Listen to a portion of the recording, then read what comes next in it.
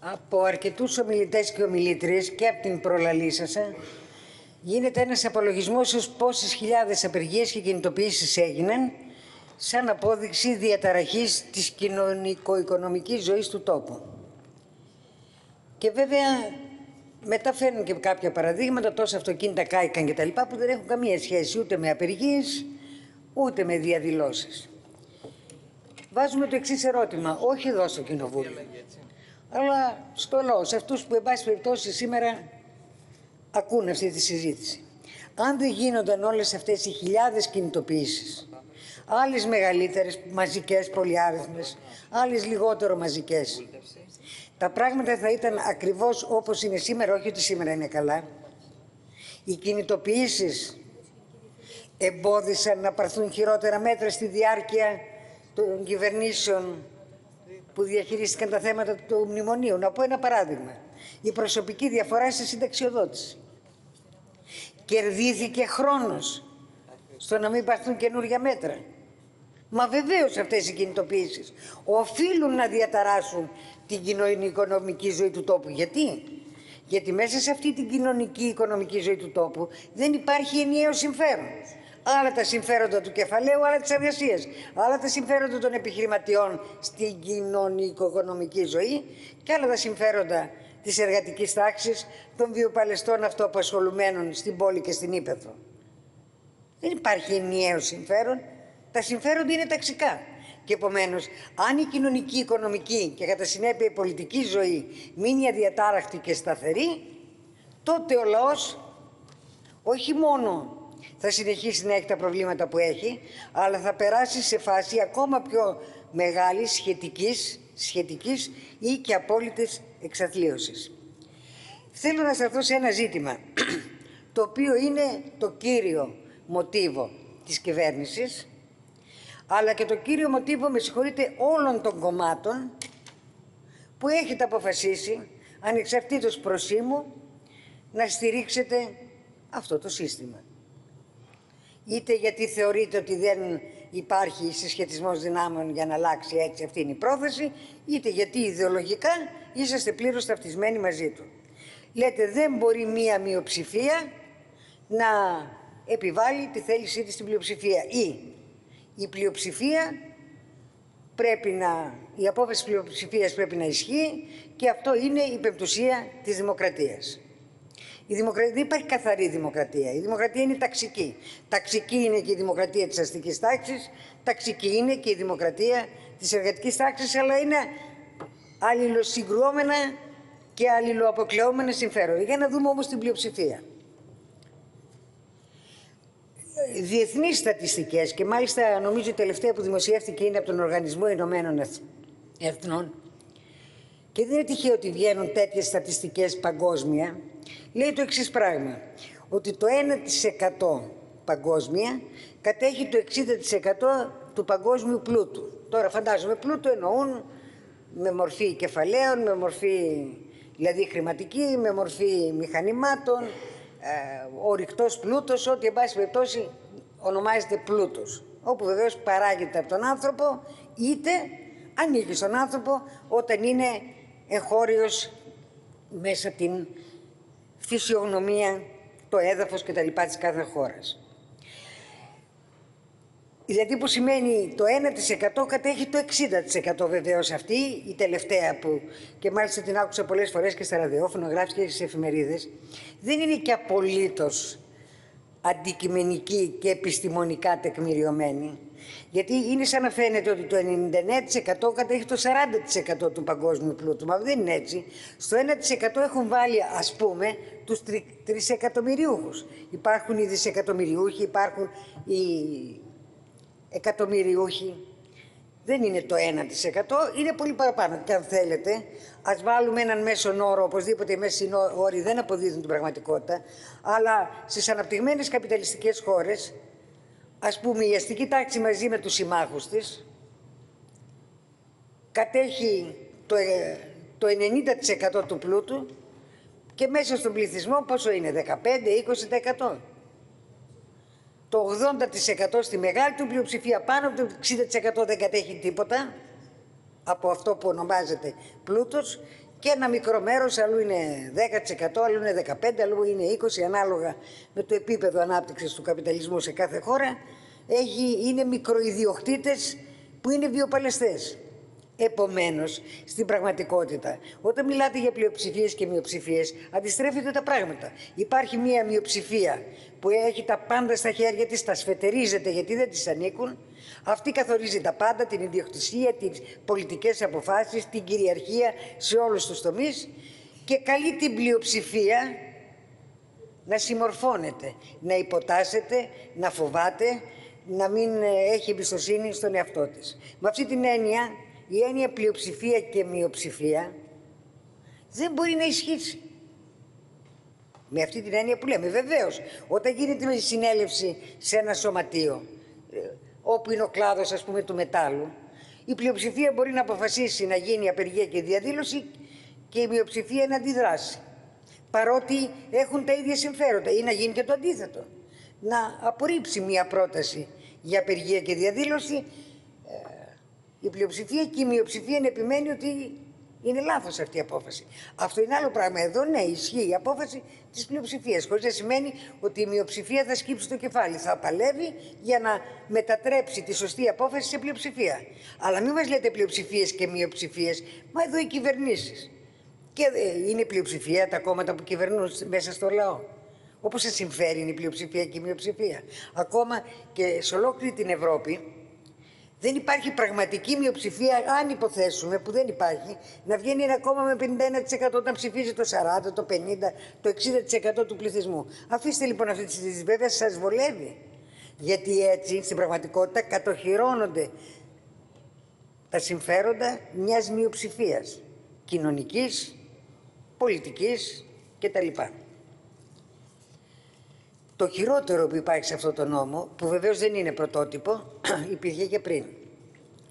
Αλλά πια δουλεμένο με αστυνομικά μέσα, καλεί το εξής πράγμα. Στο όνομα του ενιαίου συμφέροντος που δεν υπάρχει ενιαίο εθνικό συμφέρον. Στο όνομα της σταθερότητας της κοινωνικο-οικονομικής ζωής που δεν πρέπει να είναι σταθερή με την έννοια όσο πιο σταθερή είναι τόσο χειρότερα θα ζει ο λαός σε όλες τις πλευρές καλείται και υπερασπίζεστε ως ατομικό δικαίωμα τον απομονωμένο άτομο από το χώρο δουλειάς, από τους συναδέλφους του, από τον κλάδο του, από την τάξη του και μάλιστα του ζητάτε όχι μόνο να είναι απομονωμένος, στην καλύτερη περίπτωση να μένει απομονωμένος, να αντιδρά. Να σας πω ένα παράδειγμα. Ας πούμε έχουμε απεργία υγειονομικών. Απεργία και διαδήλωση. Το ξέρουμε, γιατί και μετέχουμε και ζούμε και παλεύουμε για πολύ μαζικές απεργίες και κινητοποιήσεις. Δεν μας αρέσουν οι απεργίες που μπορεί να αποφασίζονται από λίγους, άλλωστε δεν μπορούν να ισχύσουν και αυτές.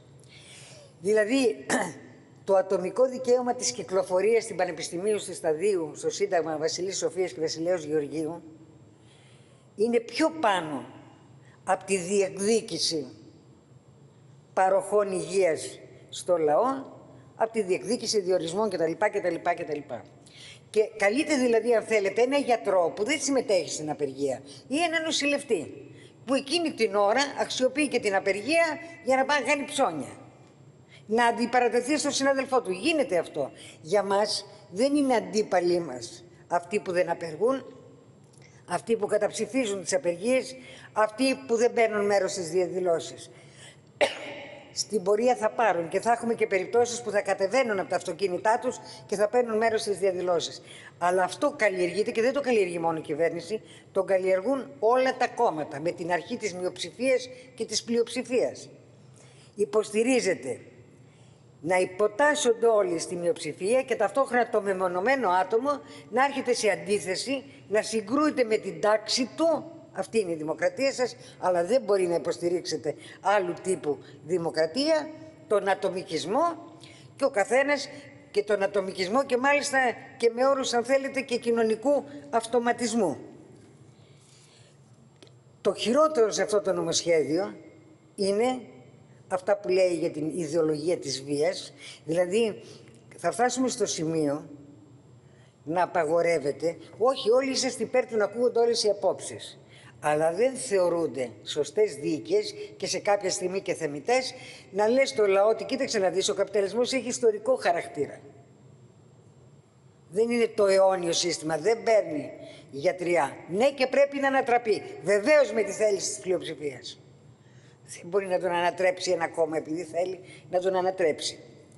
Αυτά όλα θα πρέπει να τα δούμε συνδυασμένα. Εμείς συνδυάζουμε αυτό το νόμο που φαίνεται τώρα και με τον νόμο για την απεργία που ψήφισε η κυβέρνηση ΣΥΡΙΖΑ, η κυρία Χτσόγλου. Γιατί κοιτάξτε, οι διαδηλώσεις, ιδιαίτερα την ημέρα που κυκλοφορεί ο κόσμος, συνδυάζονται με απεργίες.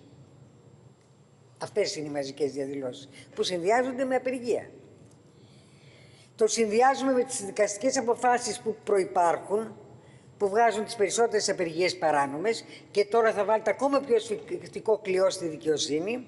Το συνδυάζουμε με όλα τα, τις προμήθειες που έχει κάνει η αστυνομία για την λεγόμενη έξυπνη αστυνόμευση κατά το smartphone και smart TV, όπου με συσκευές, όπως είναι τα κινητά και τα λοιπά, αλλά και άλλες συσκευές, θα μπορεί να φωτογραφίζει τους πάντες, όχι μόνο αυτούς που καίνε κτίρια και καταστρέφουν αυτοκίνητα και να τεινάζουν ε, ε, τιμή, αλλά ακόμα και αυτούς που κάθονται στο πεζοδρόμιο και ενδεχομένως χειροκροτάνε τους διαδηλωτές, όλα αυτά θα αποθηκεύονται, όχι μόνο, όχι μόνο αυτά που μπορεί να χρειαστούν για τη δικαιοσύνη, αλλά καλού κακού θα έχουμε και αυτό το γενικό φακέλωμα με, την, ε, με έναν καινούριο τρόπο και όχι με εκείνο τον γραφειοκρατικό, τον πεπαλαιωμένο που για να σου κάνουν φάκελο έπρεπε να σε ακολουθούν από το πρωί μέχρι το βράδυ κάποιοι αστυνομικοί. Αυτά τώρα δεν γίνονται.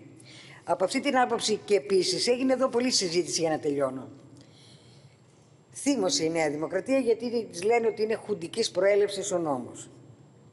Εμείς δεν κατηγορούμε κανένα κόμμα και αυτά που θα ψηφίσουν αυτό το νομοσχέδιο ότι ονειρεύονται την περίοδο της Χούντα και τη δικτατορία. Όχι. Βεβαίως είναι ένα θέμα γιατί αυτός ο νόμος δεν καταργήθηκε. Είναι μεταγλώτηση του χοντικού νόμου σίγουρα. Συνειδητά, συνείδητα δεν μπορώ να πω. Δεν κάνουμε δίκη προθέσεων, αλλά είναι μεταγλώτηση. Και το Σύνταγμα είναι αντισυνταγματικός, αλλά και το Σύνταγμα έχει παραθυράκια. Δεν υπάρχει Σύνταγμα στην Ευρώπη που δεν έχει παραθυράκια βίας κατά του λαού και τσακίσματος του λαϊκού κινήματος. Δεν υπάρχει ε, Σύνταγμα. Αλλά το κυριότερο, θα σας το πω καθαρά. Το ότι ένας χουντικό νόμος παρέμεινε ή αν θέλετε αυθόρμητα επαναλαμβάνονται πράγματα που υπήρχαν στο παρελθόν σε περιόδους δικτατορίας. Δεν είναι κάτι τυχαίο. Γιατί η αστική δημοκρατία, υπάρχει η αστική κοινοβουλευτική δημοκρατία και υπάρχει και η αστική δημοκρατία που καταργεί το κοινοβούλιο, απαγορεύει τις εκλογές, απαγορεύει τη δράση των κομμάτων και των μαζικών οργανώσεων. Σε καμία περίπτωση εμείς αυτά δεν τα εξισώνουμε. Δεν είναι καθόλου το ίδιο. Και με αυτή την έννοια δεν θα καταργήσουμε, δεν θα κατηγορήσουμε κανένα κόμμα ότι φέρεται χουντικά γιατί ψηφίζει αυτό το νόμο. Φυσικά πολεμική θα του κάνουμε, αλλά αποδεικνύεται το εξής πράγμα ότι η αστική δημοκρατία, είτε με κοινοβούλιο είτε χωρίς κοινοβούλιο, στον πυρήνα της δεν αλλάζει. Η πολιτική στην οικονομία και κατά συνέπεια στην κοινωνικονομική ζωή είναι η ίδια. Επί της ουσίας. Και στη βάση, και να σας πω, εμείς αναγνωρίζουμε ότι προτιμάτε την αστική κοινοβουλευτική δημοκρατία. Θέλετε και τον πολυκομματισμό, δικοματική εναλλαγή, εναλλαγή κυβερνήσεων συνεργασίας. Ε, δεν θέλετε η αντιπαράθεση να ξεφεύγει κάποια όρια με σκανδαλολογίες και σκάνδαλα κτλ. Αλλά και αυτή η αντιπαράθεση χρήσιμη είναι. Γιατί δουλεύετε με ένα τέτοιο τρόπο όλα τα κόμματα, ούτως ώστε ο λαός να περιφέρεται από το ένα κόμμα στο άλλο, από το ένα μπλοκ δυνάμεων στον άλλο και το σύστημα να παραμένει το ίδιο βάρβαρο και κάθε μέρα να χειροτερεύει. Μάλιστα, αν και το ΚΚΕ, εντασσώντα τη λογική της διαχείρισης, ακόμα καλύτερα θέλετε και κομμουνιστικά κόμματα. Εννοώ σε όλη την Ευρώπη. Γιατί σου λέει εδώ συμμετέχει το Κομμουνιστικό Κόμμα. Εδώ αυτή είναι η δημοκρατία. Κανείς δεν απαγορεύεται. Όλα αυτά όμως πού οδηγούν. Η πλειοψηφία του λαού ανεξαρτήτως τον προσανατολισμό, το πιστεύω της, δεν θα κάνω ανάλυση, ξέρουμε πώς σκέφτεται, η πλειοψηφία του λαού να είναι υποταγμένη, χειραγωγημένη, φοβισμένη. Αυτό θέλετε. Να υποτάξετε την πλειοψηφία στην κοινωνική και πολιτική και κατά συνέπεια πολιτική μειοψηφία, έστω κι αν στις ε, εκλογές μπορεί να συγκεντρώνει αθρηστικά τα κόμματα ποσοστά 60 και 70%. Δεν πάβει να εκφράζουν τα συμφέροντα μιας μειοψηφίας. Εμείς την πλειοψηφία τη σεβόμαστε στο εργοστάσιο, στον κλάδο, εκεί που είναι άνθρωποι που έχουν κοινά συμφέροντα ανεξάρτητα αν οι πολιτικές τους, οι ιδεολογικές απόψεις είναι διαφορετικές. Και τέλος, άκουσα από μερικούς βουλευτές, το ΚΚΕ λέει εφαρμόζει τον νόμο της κυβέρνησης. Περιφρουρείτε. Εμείς περιφρουρούμε τις συγκεντρώσεις μας από τις προβοκάτσιες και ξέρουμε πάρα πολύ καλά ότι αυτό το νομοσχέδιο που θα γίνει δυστυχώς νόμος είναι πράσινο φως για τις προβοκάτσιες.